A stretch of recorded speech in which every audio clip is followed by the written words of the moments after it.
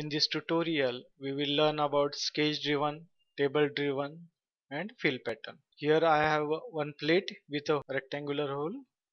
I want to create a sketch driven pattern. For sketch driven pattern, you will need one sketch with points. At first we will create one sketch.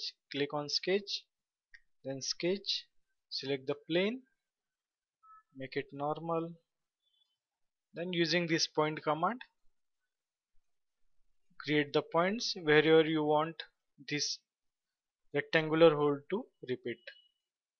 You can give the dimensions to these points using smart dimension. With respect to center you can give x direction and y direction. Or you can give from edge also. If you want to place some holes from edge that also you can place it from edges also. So whatever your reference sketch that you have to create? Then okay orbit it click outside. Then click on features sketch driven pattern. Then select the sketch reference sketch. This is the reference sketch. Then select the feature to pattern this feature to be pattern. Now this pattern is created with centroid. But if you want to use some specific reference point you can click on this select point and define the reference point. Your feature will be placed with respect to that point. Whichever point you define as per that it will be placed. In this way you can place using centroid or using specific selected point if you have surface model you can use faces to pattern. If you have bodies you can use bodies to pattern. If you want to work fast with pattern and your pattern is complicated then you can use the geometry pattern. In propagate visual style if you have given some coloring that will propagate. Suppose we will remove this tick and okay and we will apply some color to this surface. So we will select some surface using control and we will apply some color to it edit appearance and we will give some color okay? Then we will edit the pattern sketch driven pattern edit feature and tick on this propagate visual properties okay? The color is applied to all the pattern features. Then next is table driven pattern. For table driven pattern coordinate system is required at first we will create that coordinate system. For that click on this reference geometry coordinate system. Then select the reference point. I want to define this point as a 0 0. Define the origin point. Then define the x-axis direction and y-axis direction. And if you want to re reverse the direction, click on this. Then OK so this is my reference point for table driven pattern. Click on table driven pattern. Then select the feature to copy this feature. Then here coordinate system this coordinate system click on it. Then define the coordinates. Suppose I want next feature to be at x50 and y50 in this way you will have to define the double click and define the coordinates. And it will be copy there. It will create pattern at that position. In this way you can define all the required coordinates. Here the cut feature is placed with respect to centroid.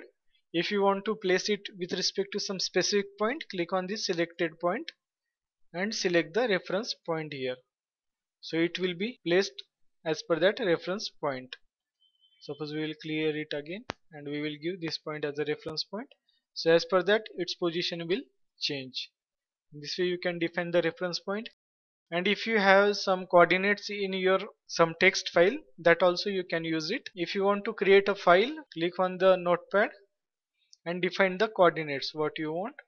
Suppose 100 comma 150 then enter. Give the next coordinate 50 comma 50 enter 150 comma 100 enter 150 comma 150 so whatever your coordinate you define it then save this file. Suppose I will make it table driven. Then save. Then close this file. Then browse the file. And from here select the text file. And select your file open. Then your all the holes will be placed as per that. Now it got oversized actually 150 150 so here all the holes or all the cuts will be placed as per your file. Click on ok. Then next is fill pattern. For fill pattern we will need a shape a sketch we will be needing and a feature to fill. Create one cut at the center extruded cut on this face. At center I will create some circle. Done. Okay done. I will need a one sketch also for fill pattern. Click on sketch sketch normal to then create one sketch within which you want to fill the features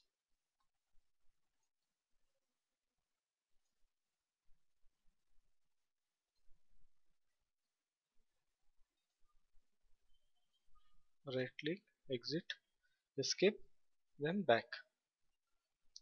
So this is the feature. Then click on features then click on fill pattern then select the boundary this sketch. The sketch needs to be close one. Then select the feature. I want to repeat this feature. Then you can define the pattern layout. Now this is a perforation you can define the gap between two holes how much you want. Then you can define the angle how much angle is required. Then gap from the edges that you can define here gap of 1 suppose.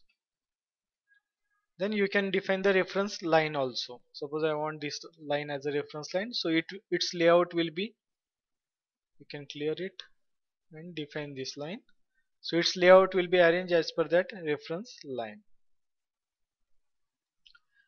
Then remaining option are same. In this pattern you can also use instances to skip. If you don't want some instances you can click on it so it will not be visible in the final pattern. Now here we have used existing hole. If you don't want to use existing hole and want to create new one so for that you will have to click here create seed cut. And then you can define the shape of the seed. Suppose I want it square. So it has created the square shape. Then here you can define the size of the square. Then here you can define the vertex or sketch point. At what sketch point that sketch should be created. Then you can give the angle to it also. Suppose I give it 45 degree. So it created vertical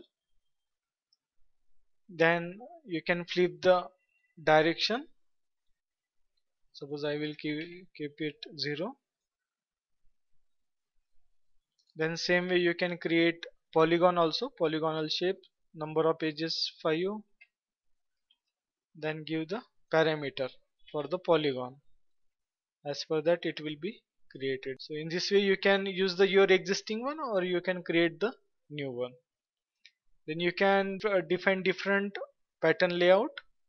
Suppose I will select this selected feature. And here you can define circular pattern. So it will create the circular patterns around your existing hole. Then here you can define the spacing or you can give the instances per loop. How much instances you want. I want suppose 15 so as per that you can control the quantity you can give the gap. Same way is for square. It will be in square format. You can from here control the quantity in one line. Same way you can create polygonal shape also. We can give number of edges for the polygon how much you want. The number of instances. So in this way you can create different type of fill pattern so thanks for watching. We will stop here